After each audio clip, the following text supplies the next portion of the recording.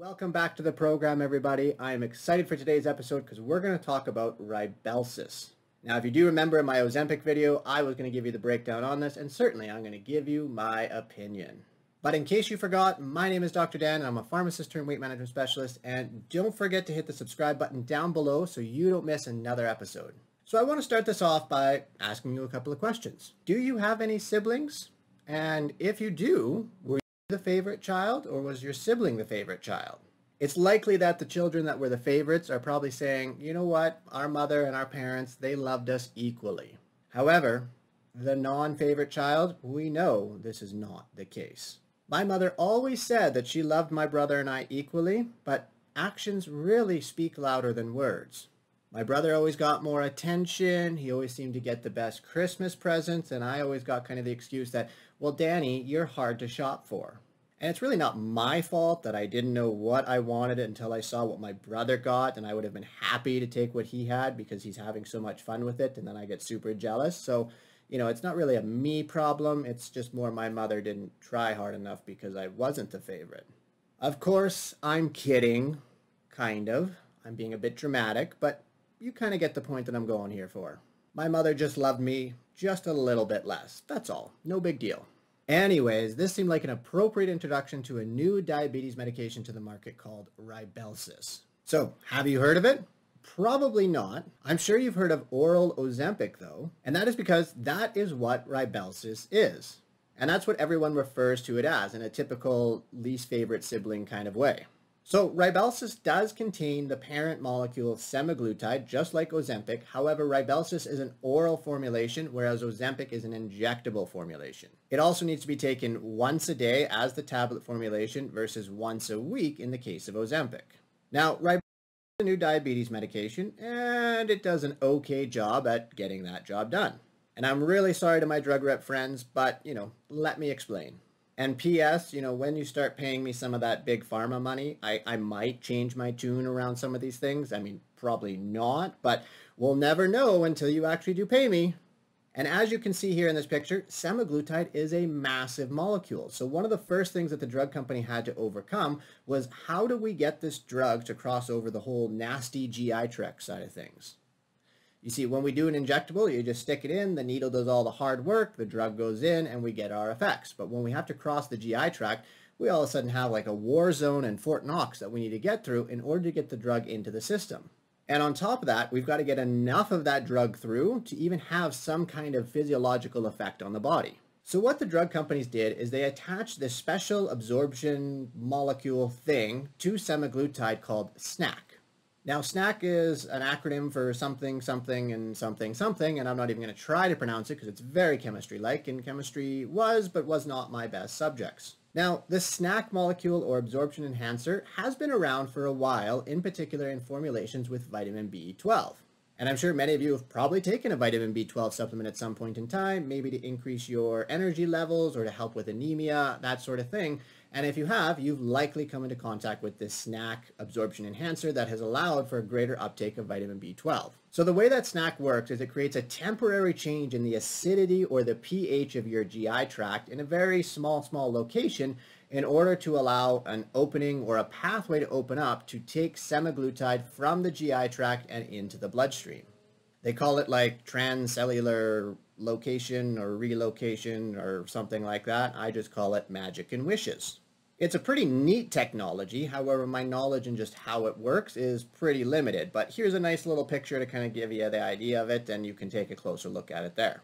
Now, one of the big concerns that we have is that, hey, if we're creating this big old hole or pathway for a massive molecule like semaglutide to get from the GI tract into the bloodstream, are we going to let other things like, you know, pathogens, food, or maybe drugs that might be with it and those get extra absorbed and cause all kinds of issues? And while that is certainly a fair point, that does not seem to be the case.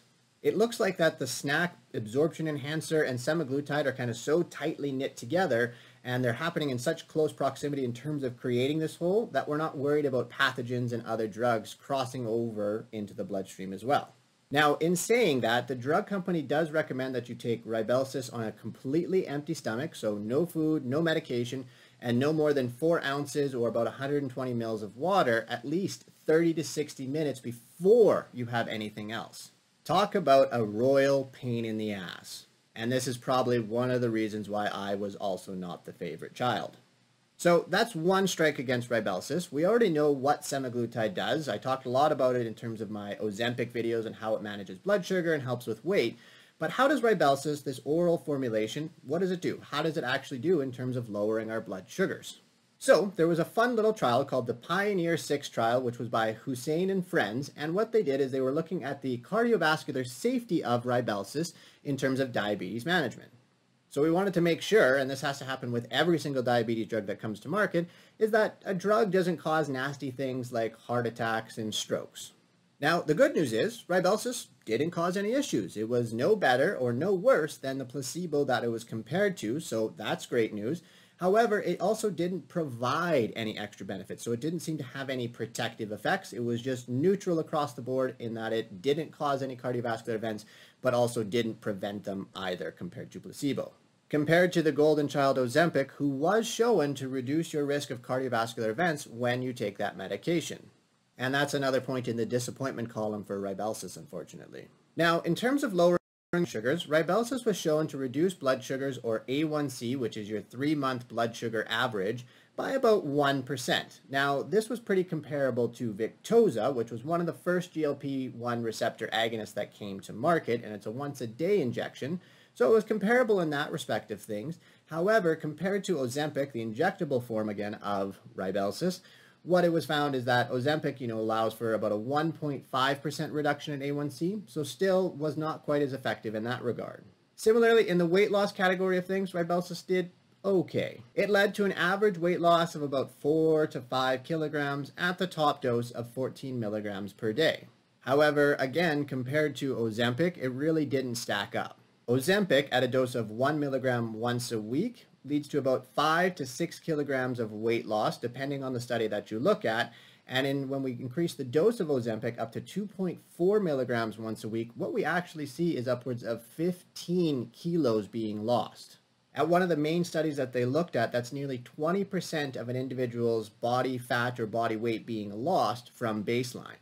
So pretty crazy, and definitely Rybelsus is just not being comparable. Would we get more if we increase the dose of Rybelsus? Maybe. Now, what about the side effects? We know Ozempic is certainly more potent, and that ultimately means we get more side effects, but how does Rybelsus compare? Well, Rybelsus ultimately leads to the pretty standard GI side effect profile of the GLP-1 receptor agonist, so things like uh, nausea, upset stomach, GERD or heartburn. Rare, rare cases if you eat too quickly and too much, it might cause vomiting and possibly some constipation and diarrhea. And the good news is, is that the risk of having a low blood sugar while just on Rybelsus is really, really quite low, and actually it's nil altogether, because the mechanism that the GLP-1 receptor agonists act on to lower our blood sugars really shuts off when your blood sugars are in the normal range people that had a hypoglycemic episode with Rybelsus were generally taking something like insulin or a sulfonylurea, and those two drugs are known to lower your blood sugars and certainly can increase your risk of having a hypoglycemia event or a blood sugar that's less than 4. So, if Rybelsus was not so great, why the hell did they even make it to begin with? Well, the drug company asserts that it's what the people wanted. The people don't want to do an injection, the people want a tablet. Now, there's certainly a few individuals who absolutely are needle phobic, and yeah, an oral formulation would certainly be preferred over an injectable. However, I would say a great majority of people are actually pretty okay with injecting Ozempic. There usually isn't too many concerns or issues, especially when they see that the needle is really no bigger than the whiskers on my face. Maybe not right now, I shaved this morning, but when my beard grows out a little bit, it really is no bigger than the whiskers on my face. As well, when it comes to Ozempic, you only need to do it once a week. You don't have to take a tablet every single day. Now, personally, this is very much just my own opinion. I think it's more of an issue with healthcare professionals and them not being comfortable with the injectable formulations. They find it much, much easier to counsel on how to take a tablet versus how to walk a patient through on how to do an injection. Anytime we've got a puncture or, or poke the body or something like that, there might be increased risks. And in reality, yes, I can see where they're coming from. But at the same time, it's really, really straightforward. The needle isn't that big. And once you learn it, it's, it's super easy. Now, am I biased because I do this literally every single day? Yeah, probably. But regardless, I think it's still a moot point, and really, I don't know if we really need an oral formulation considering that most medications that are going to be coming to the market in the future are going to be some kind of injectable format because as science advances and the molecules get bigger and bigger and more specific at what we want them to do, it's going to be harder and harder to create these oral formulations to get a drug from the GI tract into the bloodstream.